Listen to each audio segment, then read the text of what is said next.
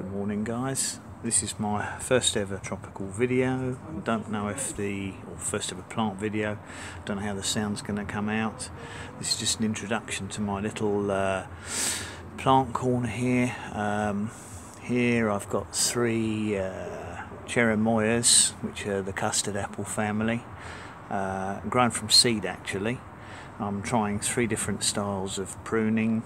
Um, one of them's in uh, like a, I'd say a wine glass or goblet shape, and I've cut the centre out. Um, um, the second one I've let grow, which I'm gonna, it's currently around uh, seven feet, so it's over two meters.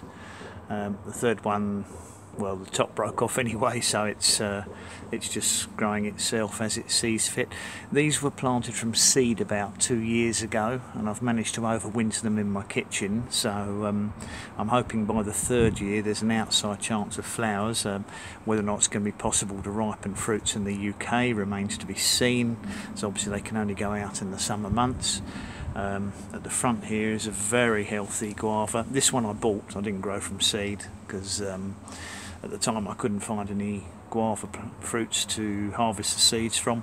I'm not sure what variety this is, it came from uh, a nursery in Kent, but it's sort of doubled in size since I bought it earlier this summer. So I'm going to prune it in the spring and see what happens flower wise. Um, thanks for watching, guys. Pretty boring at the moment, but I'll try and keep you updated as I build my uh, YouTube channel. Thank you for listening.